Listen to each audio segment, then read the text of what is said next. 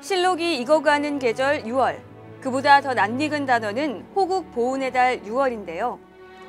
지난 6일 현충일은 휴일이기도 하지만 나라를 위해 목숨을 바쳤던 호국 영령들의 숭고한 호국 정신과 미운을 추모하는 날입니다. 이날 추념식에는 안병용 의정부 시장을 비롯한 보훈단체, 주요 기관 및 사회단체장, 학생 등 200여 명이 참석한 가운데 경건하고 엄숙한 분위기 속에 진행됐습니다. 호국 영령, 어쩌면 누군가에게는 사무치게 그리운 가족, 가슴에 묻은 소중한 사람들일 텐데요. 현충일 추념식은 보훈의식을 고취하고 나라를 위해 목숨을 바쳤던 분들의 숭고한 정신을 진지하게 생각해보는 뜻깊은 자리가 됐습니다.